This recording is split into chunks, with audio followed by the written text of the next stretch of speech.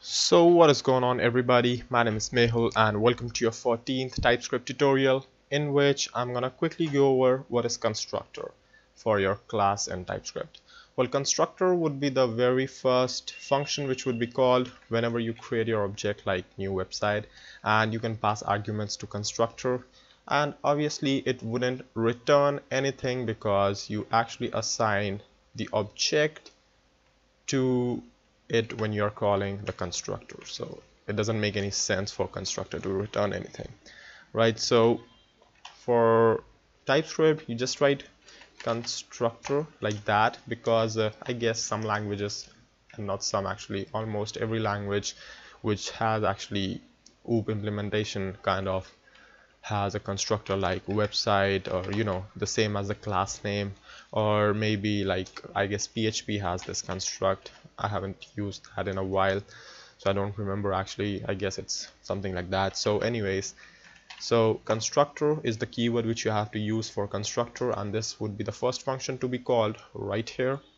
Right and then you can pass in a bunch of arguments like uh, URL as a string and remember that this URL and this URL are different right? This is that this is just the copy of whatever is passed right here. You can just name it urlx as well. It doesn't make any difference. So url is a string and then fb likes as a number right? So now what we have to do is say this dot url now this dot url refers to this url the variable of the actual class right? So that is how pretty much we differentiate between the variable of the class and the local variables which are created by this constructor or any method right?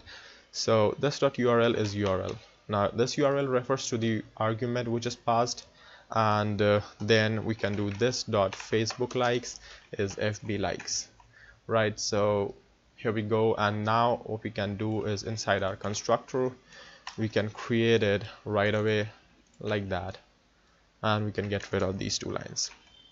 Right and it just compiles perfectly fine.